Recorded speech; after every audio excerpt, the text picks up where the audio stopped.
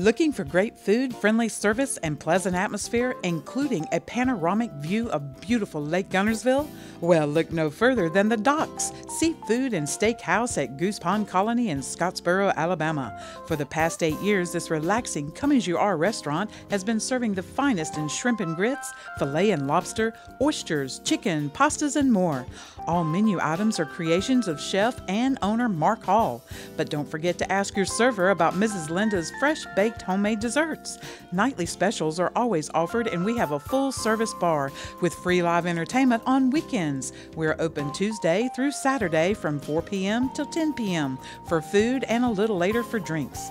Reservations are recommended on weekends by calling 256 574 3071.